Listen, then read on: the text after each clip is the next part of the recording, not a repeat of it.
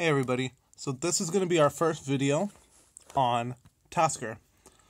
Um, we're actually not going to be doing anything with Tasker today other than downloading it, installing it, and taking a look at the interface, which many of you guys might have already done and gotten a little intimidated by what it is. You can read in the description, it talks about how good it is, it can automate everything from setting to photos, SMS to speech, ADC to prize winner, etc and it sounds really good. It sounds like, man, I'm going to be able to automate all sorts of things.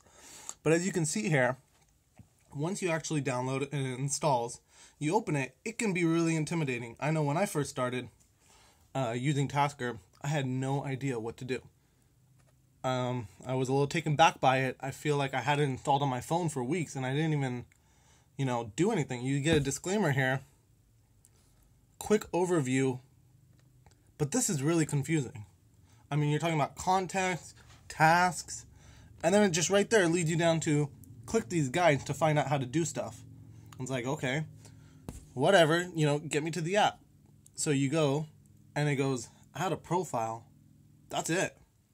I mean, there's really, it's a really plain interface, and that's probably the number one flaw of Tasker.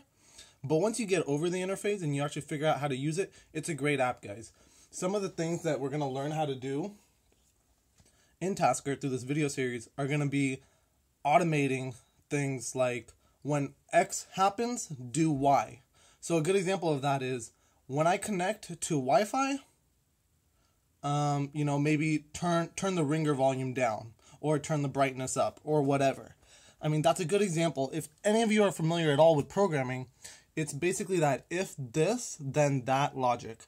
So everything in Tasker just about that you're going to do at least through this video series, is going to be like, if A, then Y.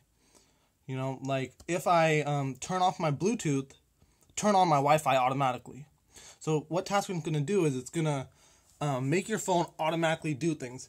For example, I cannot remember the last time I had to go to my volume rocker and turn it to vibrate or turn it back up from vibrate. I mean, it just happens automatically for me and that all happens through Tasker. So those are just a couple examples of what we're going to learn, what to do. I suggest everybody download Tasker, have it installed, and you know even look through some of those guides, read through you know that initial pop-up, try and start playing around with it. If you can figure it out, great. You'll be ahead of you know the rest of us as we learn how to do things step by step through the video series. If you guys have any suggestions, any things you want to learn, leave them down at the comments. Make sure you subscribe, share this video, and yeah, expect new videos every week.